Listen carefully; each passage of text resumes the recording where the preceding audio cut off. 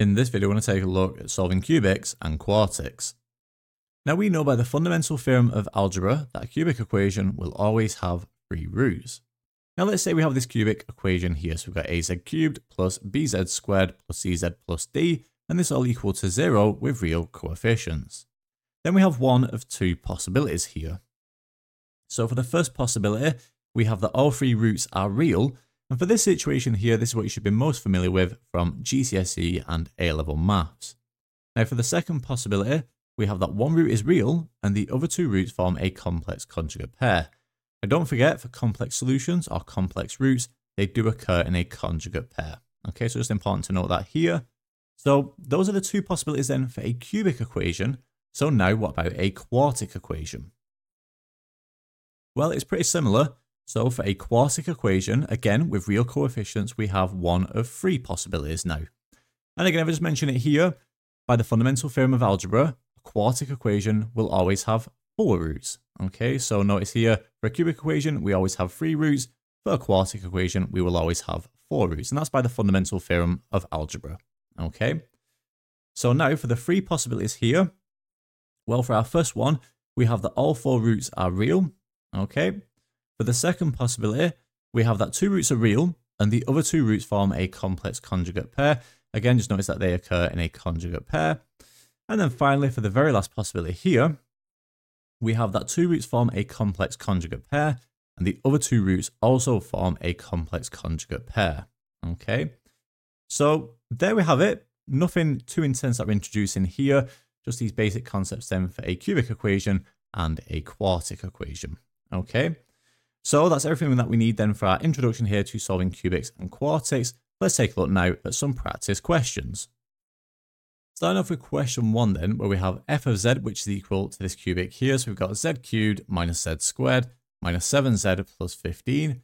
And for the first part then, part A, all I want to do is show that f of minus 3 equals 0. So pretty standard stuff to begin with here. So to show that f of minus 3 equals 0, all we need to do is substitute minus 3 into this cubic here, and we should hopefully be able to simplify and show that that is equal to 0. Okay, so let's start by doing that. So f of minus 3, this is equal then to minus 3 cubed. So we've got minus 3 cubed. We then got minus minus 3 squared.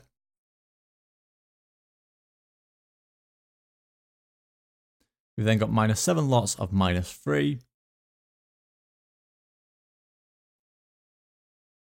And then finally plus 15. So let's simplify this here.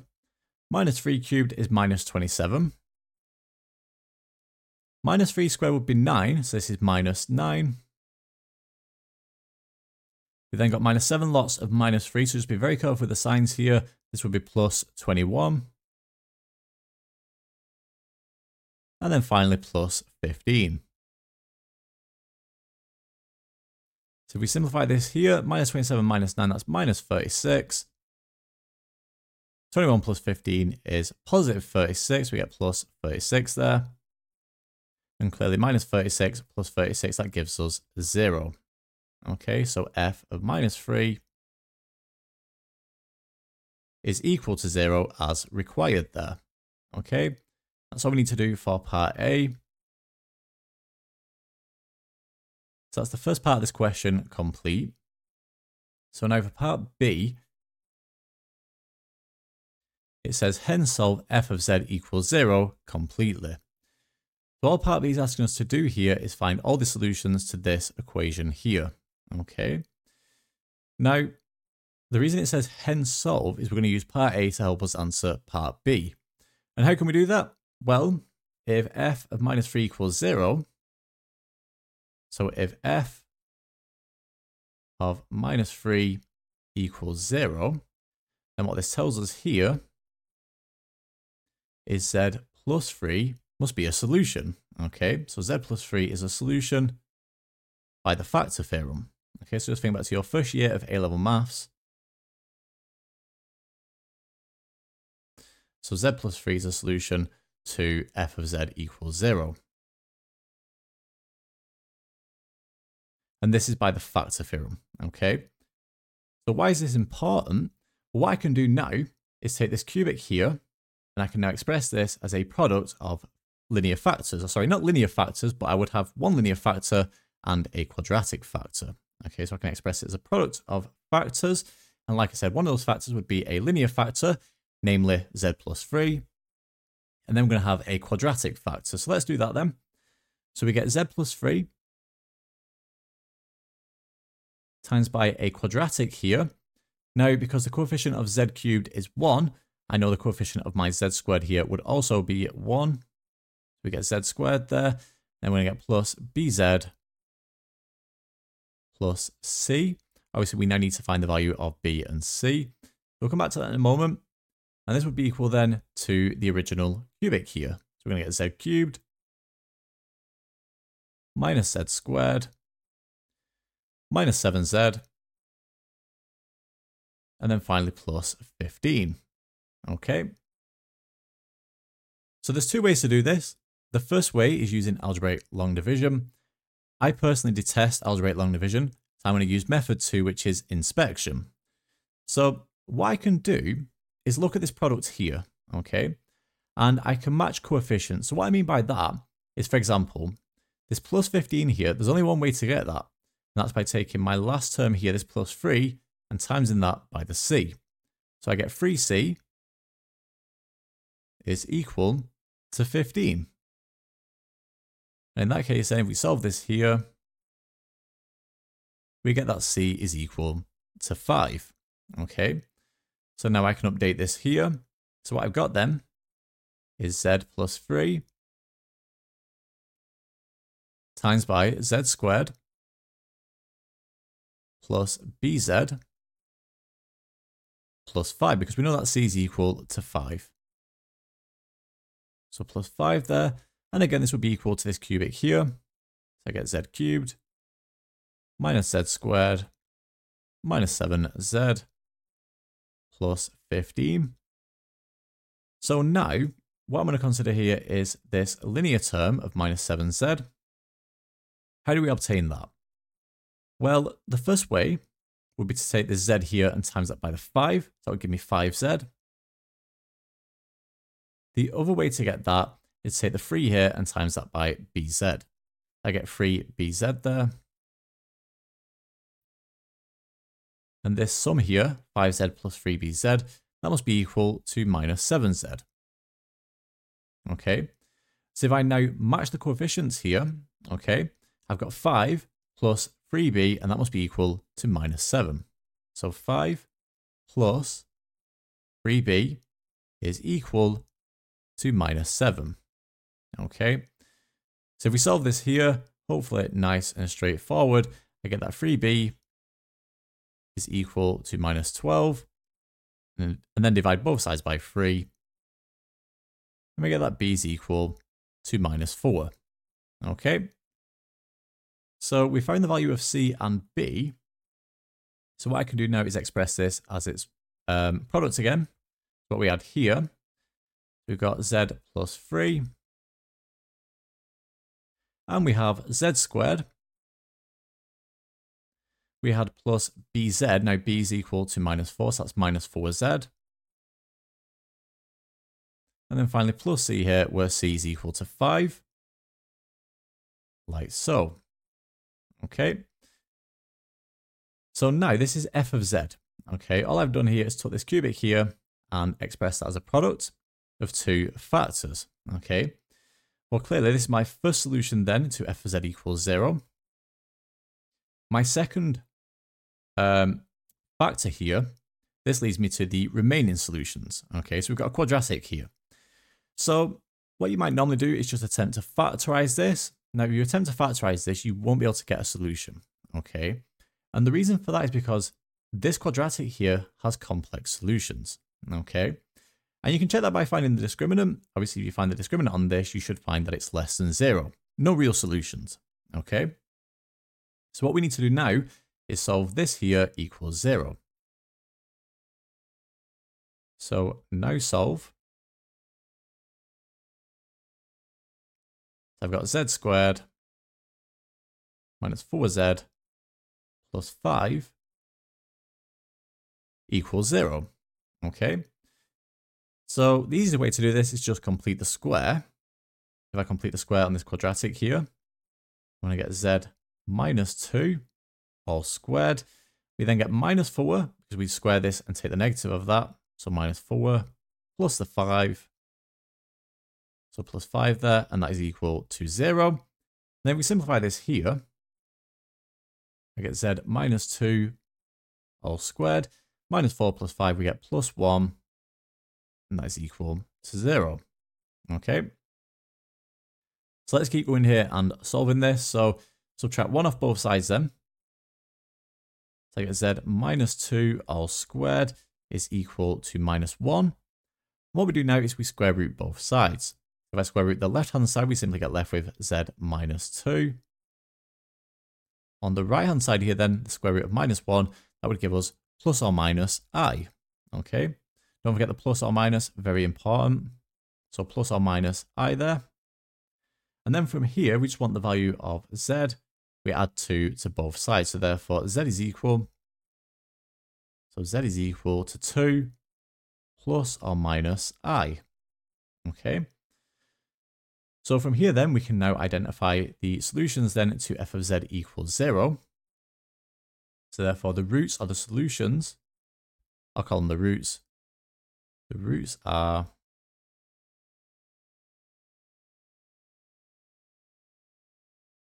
So the roots or the solutions are, so our first one was minus 3 here, as we saw in part A, f of minus 3 equals 0. So I've got minus 3. We've then got 2 plus i. And then finally 2 minus i. Okay. And there we have it. So what we've done there is we found the roots of a cubic equation. Okay. Like you can see, two of those roots were complex roots and the remaining root was real. So there we have it. So that is the solution there to question one. If we just take a look then at one more practice question now, we have question two, which is looking at a quartic. So we've got f of z, which is equal to z to the power 4 plus 3z cubed minus z squared plus 17z plus 20. Now for the first part, part A, all we want to do here is express f of z in this form here, where b and c are real constants to be found. So for part A then, the first thing to notice here really is that f of z, if it's expressed in this form here, it just basically means that f of z is now expressed as a product of quadratic factors. Okay. So the way to obtain the second quadratic factor here, well, there's two ways we can do that. We can either use algebraic long division, or if you're like me and detest algebraic long division, then using inspection by equating the coefficients is also fine. So either method's fine, whichever you prefer, but like we did for the previous question, I'm also going to use inspection again for this question. So let's just start by writing down this product here. So I've got z squared plus 5z plus 4. We then times this by z squared plus bz plus c. Okay. Now when we expand these quadratic factors here, we should obtain f of z in this form here, as a quartic basically, okay? So when I expand these out, we should get z to the power of 4 plus 3z cubed minus z squared plus 17z plus 20. Okay. So if I'm using inspection here, the easiest thing to find first would be c because I know to get the 20 here, we take the 4 here and times that by the c. So therefore, 4c must be equal to 20. Okay, so if we solve this here, 4c equals 20. In that case, c is equal to 5. Okay, so we can now rewrite this product here. What we've got then is z squared plus 5z plus 4 times by now, so we've got z squared. We don't know what b is yet, so it's just still bz. But the c, we know that's equal to 5. So we've got plus 5 there. Okay. And again, when we expand this out, we should get this here. Okay, so this is equal to z to the power of 4 plus 3z cubed minus z squared plus 17z plus 20. Okay, so now we need the value of b. So how can I get that? Well, I'm going to consider the value of my linear term here. Okay, or this linear term basically is what I'm going to consider. So how do we get 17z by expanding these brackets here? Well, I've got the 5z times by the 5 here. That would be a linear term. So 5z times by 5 would give me 25z. So we've got 25z. How else can I obtain it? Well, I've got the 4 here. If I times that by bz, that would be also a linear term for z. So I'm going to get 4 bz there. So plus 4 bz. And there's no other way to obtain a linear term then. So in that case, we've got 25z plus 4bz, and that must be equal to 17z. Okay, so that's equal to 17z. And what I can do now is equate the coefficients. In this case, if these are equal, 25 plus 4b must be equal to 17. Okay, so therefore 25 plus 4b must be equal to 17. Okay, and if we solve this nice straightforward linear equation here, what I'm going to get then is 4b equals minus 8. So 4b equals minus 8, and therefore b must be equal to minus 2. Okay. And then we're nearly done. All I want to do now is actually express it in this form here as required, so as a product of quadratic factors. So therefore, f of z is equal. So I've got z squared plus 5z plus 4. So z squared plus 5z plus 4. And then we times this by the second bracket here where we have b and c. Well, b is equal to minus 2 and c is equal to 5. Got z squared again. Um, bz, well, b is minus 2, so minus 2z and then c is equal to 5. Okay, and there we have it. So that's part A complete. So what about part B then? Well, for part B, it says hence or otherwise find all the solutions to f of z equals 0. So, part B then, let me just kind of box this off a little bit here. So I've got a little bit of room here for part B. Okay. So for part B then, hence or otherwise find all the solutions to f of z equals 0. Well, in that case, we now just set f of z equal to 0 here. So I've got z squared plus 5z plus 4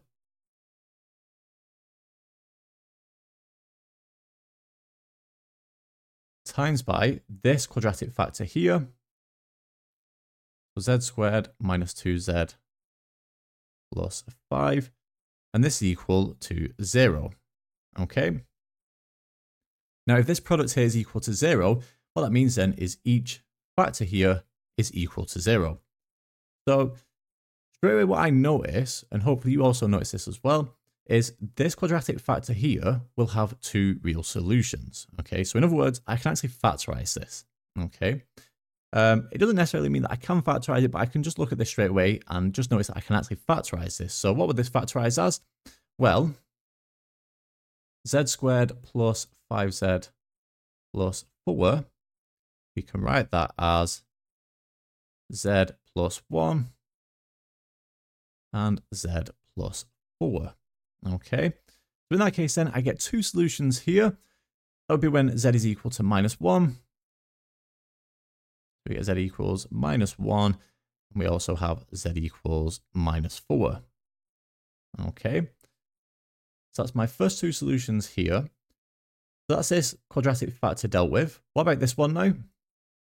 Well, for this one here, the first question is, would we get real solutions here? Now, obviously, we're dealing with complex numbers. This topic, this chapter is about complex numbers. Obviously, I wouldn't expect this now to give me two more real solutions here, okay? Otherwise, there's not really any point to this question as an A-level further maths question, right? So what I'm expecting then is we will get um, complex solutions, basically. So you can check that by finding the discriminant then of z squared minus 2z plus 5. and you'll find that the discriminant is less than zero. There's no real solutions, okay? So what I need to do then is solve this here being equal to zero. So we're going to solve. So we're going to solve z squared minus 2z plus 5 equals 0. Okay, so to do this, all I'm going to do then is just complete the square. So if we do this, we get z minus 1 all squared. We're going to get minus 1. We've then got the plus 5 here. So minus 1 plus 5 gives me plus 4. And that is equal to 0. We're going to subtract 4 off both sides. We get z minus 1 all squared. So that's equal to minus 4 then. And now what I'm going to do is take the square root of both sides here. So if we do that on the left-hand side, we just simply get z minus 1. And on the right-hand side now, we're taking the square root of minus 4. So don't forget we get plus or minus here. We need both solutions. So plus or minus, and this will be 2i. Okay, so 2i there. And then finally, we just want z here, all I need to do now is add 1 to both sides. So therefore, z is equal to 1 plus or minus 2i. Okay. And we're pretty much done now because I know the solutions to this quadratic factor here are 1 plus or minus 2i. So what I've got now is all the solutions to f of z equals 0. So solutions. So the solutions to f of z equals 0 are given as. So I'm going to get minus 1 minus 4. We get minus 1 minus 4. Then we've got 1 plus 2i. So 1 plus 2i and 1 minus 2i. Okay. And there we have it. So like you can see, there is a bit of work involved with these types of questions but mathematically nothing too challenging, I don't think. Okay. But there we have it. So that gives the solution to the very last question, question two, and that brings us to the end of this video on solving cubics and quartics.